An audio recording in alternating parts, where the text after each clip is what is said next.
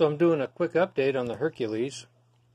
I've got this uh, flywheel and crankshaft bearings all cleaned up, oiled up, and ready to uh, install back in the engine. I've just about got the uh, hit and miss uh, mechanical ignition assembly cleaned up. I've had this all apart. I didn't film it, but I got it all cleaned up, oiled, uh, made some new brass uh, washers, just you know for for looks. I had uh, to replace two pins. This one here and this one here, half inch pins.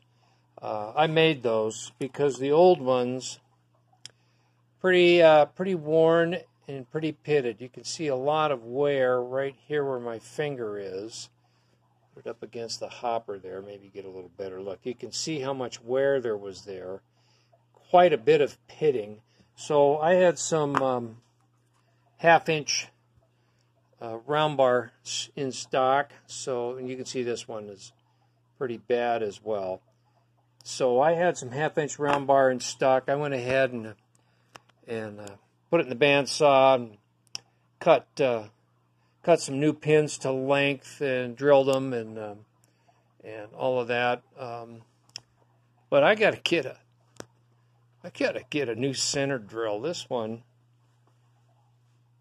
I don't know if you can see that or not. That one's pretty sad and pitiful, and uh, but it it was functional enough, enough to get the hole started in those pins. So got those drilled, got those installed.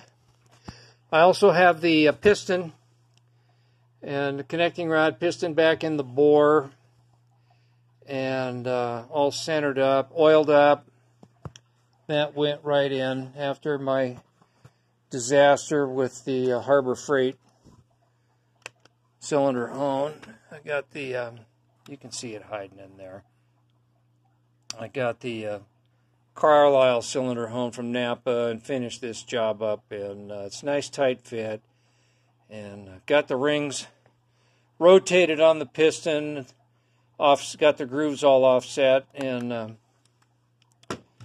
got that in there. So making progress. My goal today is um, to get ready to get the head back on here. I'm going to uh, I'm going to uh, lap these valves a little bit before I put that back on there. And then, of course, I got to give the body of this thing a good cleaning. You can see it's it's sat in a shed for a number of years, and it's covered with the good old Arizona gumbo clay dust that's, you know, stuck here like glue. So I'm going to clean that up. And then get this... Uh, crankshaft set in the saddle. Of course, this needs to be cleaned up yet too, but I'm making progress on it, so I just thought I'd let you guys know where we're at with the Hercules. And uh, you all have a good day. And I got a tractor show coming up this weekend, the 10th, at Mr. Shed in Huachuca City. So I'm going to try and shoot a video of that and put it up. Uh, Mr. Shed has rolled the the red carpet out for Power from the Past they're um, they're even going to serve us a free lunch just for coming, you know. So uh, we want to support the local business, and uh, they're treating us real good. So we hope to have a good turnout, and I'll shoot some video of that and um, let you know what's happening in uh, Huachuca City. Anyway, see you guys later. Thanks.